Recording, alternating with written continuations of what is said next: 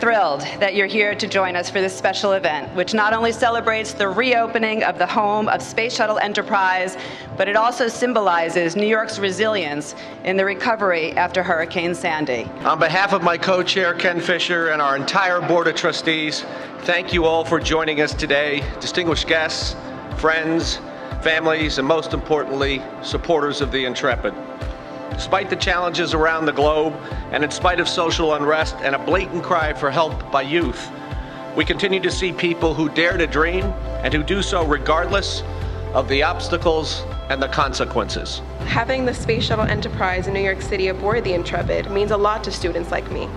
It gives us the opportunity to learn close up about a vessel that we had only seen on the news and read articles about, the opportunity to watch something so significant become an artifact in the city we grew up in, and of course the opportunity to help us raise and ask more question about, questions about space exploration, and now that we are all going on to higher education, we could finally answer those questions ourselves.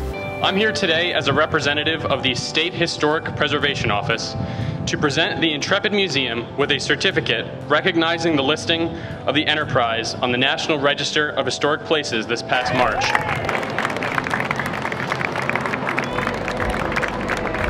Uh, Enterprise is in good hands and is ready to renew its mission of inspiring future space explorers. The reinstallation and the recovery of this uh, Space Shuttle Enterprise is part and parcel of the recovery of New York City. There is no New York City without its culturals. There is no New York City without the Intrepid.